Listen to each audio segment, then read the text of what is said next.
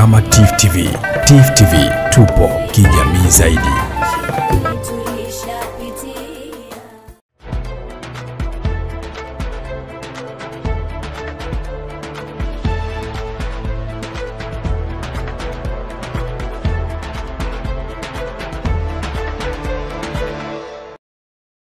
Karibuni katika ikulu ya jijini Dar es Salaam. Kama mnavyoona, lile jengo ni la tangu enzi ya karne ya kumi na tisa na marais wote wa awamu za hapa walioongoza hapa nchini Tanzania walikuwa hapa. Kabla tuja kupelekeni Chamwino Dodoma, ambapo ndio ufunguzi rasmi unafanyika, hebu kidogo tujue yaliyojiri ndani ya ikulu ya jiji la Dar es Salaam.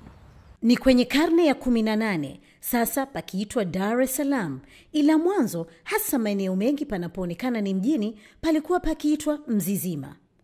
Familia ya Tambaza asili yao ni Washomvi na ni watu wenye asili ya pwani ya Dar es Salaam, kuanzia Kimbiji, mbwa maji Mji Mwema, Kibada, Kigamboni, Magogoni pamoja na Upanga, Msasani, Kunduchi, Ununio, Mbweni hadi Bagamoyo.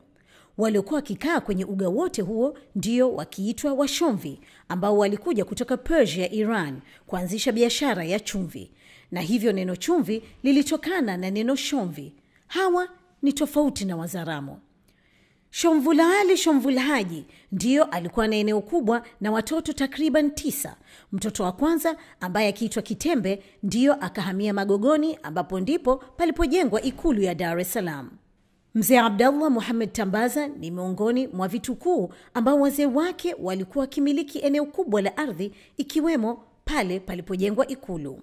Nyumba ilikuwa hakuna nyumba, zilikuwa nyumba za makuti za vijiji kama kawaida, Kiji, vijiji kama kawaida, lakini kulikuwa na civilization. Huwezi kusema tu kijiji cha hivi, kwa sababu pale walikaa watu, kulikuwa na wana uh, kuna makadhi, kuna misikiti, kuna uh, makaburi yako pale, central establishment.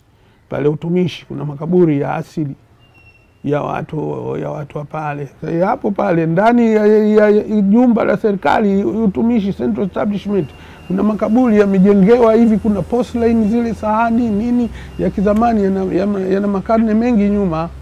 Kwa hiyo hiyo ni, ni ushahidi tosha kwamba kulikuwa na watu wanaishi pale. Said Majid ambaye alikuwa mtawala Zanzibar na si Tanganyika aliwasili Mzizima kwa lengo la kueneza dini ya Kiislamu. Kwa wakati huo kuliandaliwa mkutano mkubwa Istanbul, Uturuki, ulioshirikisha wanazuoni mbalimbali, huku wakikubaliana kila mmoja akajenge kituo cha kusambaza Uislamu. Ndipo Said Majid akaenda Mzizima na akakutana na familia kina mzee Tambaza kutaka eneo la kujenga kituo hicho. Alinunua kwa wenyeji hivi hivi tu. Sasa tutasema ah, alinunua vipi? Mbona hakuna dokumenti yote kule Ikulu nasema nini? Hakukuwa na wizara ya ardhi wala nini, labda waliandikiana huko wala nini, fikiri waliingia mikataba tu ya hivi na nini na nini, akachukua basi, unachukua tu e, basi akajenga ile, akaleta watu wengi sana, wataalamu kutoka nje ya eneo hili. Kajenga watu katoka, wametoka Uturuki, wametoka uh, Irani, wametoka wapi. Ndo nyumba ya kwanza kubwa kujenga hapa, ikiwa ya kuna nini. Nini, akajenga hiyo, akajenga na Ocean Road, ulikuwa msikiti wa Jumaa mkubwa. Eneo lile tunaloliona lile pale, kipande kile tu kile cha Garden Avenue kile na nini na nini kulikuwa na misikiti kama arobaini hivi na vitu vitu vingine. Otherwise kulikuwa na nyumba tu za makuti na udongo na nini, kama kijiji chochote unachokijua, wanakaa watu na hivi na hivi, wakiuza na kununua na kuvua na hivi na hivi na hivi. Sasa Said Majid aliponunua hiyo, ndio akaja na hilo jina lake hilo, akasema ah, hapa ni Daru Salaam sehemu ya amani, eneo la amani, bandari yenye usalama. Kutoka kwenye eneo, kutoka kwenye jina lilokuwa la zamani zikiitwa Mzizima. Mzizima ni mahali e, volatile, unaweza kusema mahali vibrant, mahali neno zizima, zizimi inatokana baridi, patetemeshi, pa hivi, panatisha, pana wanyama wakali, simba, chui e, walikuwepo E, ni pori pori, sona mtasema "Ah, bwana kule gawe mjini kutakuwa na simba likaa wapi? Ndio likuwa hivyo, ilikuwa mji kama unaojua mji wote mwingine.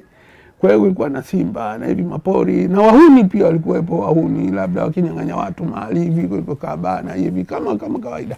Sasa hapa watu wakapaita Mzizima, huko ukenda kuna watu janja wajanja kwenye zizimi. Unaona bwana, au unaweza kuita maji iliopoa. Sasa yeye akaja na jina lake hilo akaita Dar es Salaam.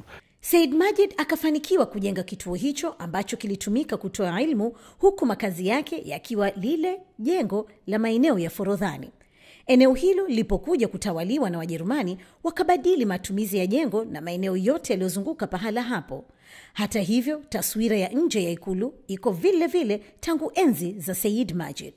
Bahati nzuri hawa wenzetu eh, Wajerumani na Waingereza wakiheshimu sana graveyards hawaku wamepreserve, hawakuwa na tabia hizi za kuchimbua chimbua makaburi tupite barabara makaburi sijifanye nini.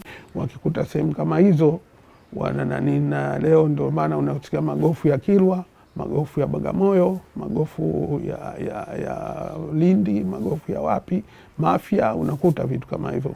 Hawakuwa na tabia hizo.